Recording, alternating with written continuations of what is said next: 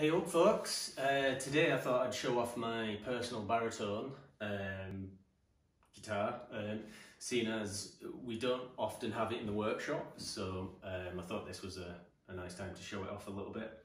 Um, it's a 28.5 inch scale, so it's three, three inches longer than normal, uh, which helps for all the, you know, detune stuff and things like that.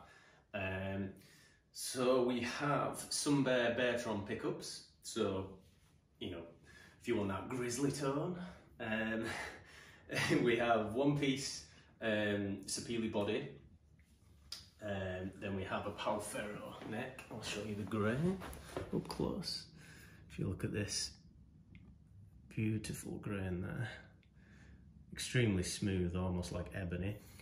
Uh, talking about ebony, that's what the fingerboard is. And I have the lovely aluminium, aluminium, if I can speak properly, uh, ringed inlays.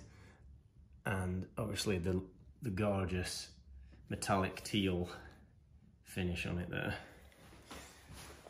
And then obviously the half guard matches the ebony board um, and you know matching headstock all the rest of it um, so yeah, and it's uh, I usually use this in D and then drop it down to drop C um, as well. A normal baritone is more basically like a, a seven string tuning, um, but without the top E um, basically. But that's a little bit low for me, so um, I like it a little bit higher than that. Um, but yeah, each to their own, I guess.